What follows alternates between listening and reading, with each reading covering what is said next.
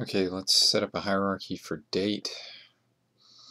All right. Um, once you pull in your date table, what you need to do is you need to create the hierarchy. So, and you create it from the parent down to the child. Uh, so you want to go from year, semester, quarter, month, uh, day, and the day is going to be the date key, the actual date key for the for the table, um, and you want to use the um, for the name for the naming column you want to use the alternate date key which really is just uh, the date key has no uh, delimiters while the alternate date key has delimiters so it's a little easier to read. It's a little more user friendly for the users. Um, of course you could probably rename this too to um, to date and um, so uh, so for month now month is uh, is the is an English name is, is the English for month. It's not the number. So that one we have to handle similarly.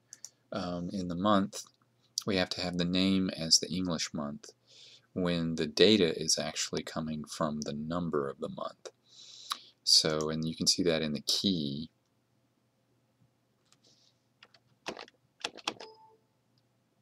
Um,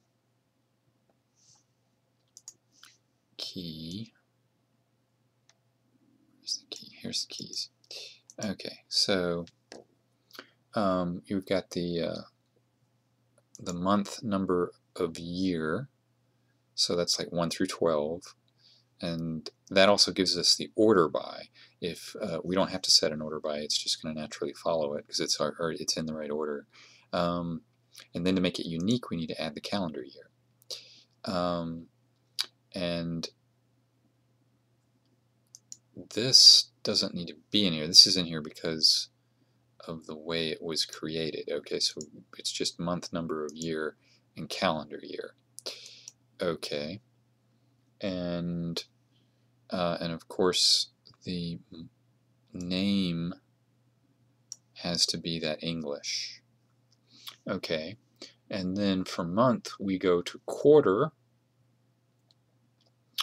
and so fiscal quarter of course, now that one can, can have the same name as the key, so we just use fiscal quarter for the key and the name, but we but it's not unique with just that, so we have to add the year and the semester along with the quarter.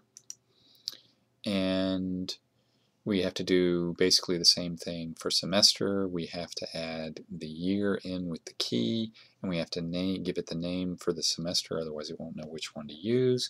Year stands alone. We don't have to add anything to it. We don't have to give the key. The year is fine all by itself. You can see this by looking at the data. If you look at the data, the year is just the year. It's not like some, some funny key or anything. And that's something you should definitely do, is, brow, is uh, go in here and uh, explore the data is look at the data you're, you're dealing with and see what kind of keys you've got and what the names look like and all that stuff. Very good idea. Um, even go into um, management studio, uh, SQL Server Management Studio and maybe write some queries and, uh, and see what the data looks like and see how it gets pulled back and see where the keys are and what's keyed off of what. Definitely a good idea to figure all that out.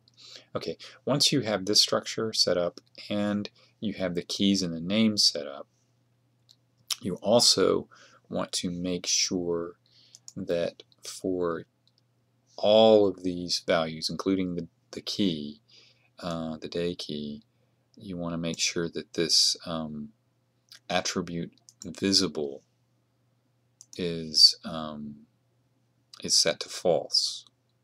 Otherwise, um, they'll be able to browse on the individual um, fields here and not just this. You want only this part to be visible. You don't want this to be visible too, so you have to turn that off.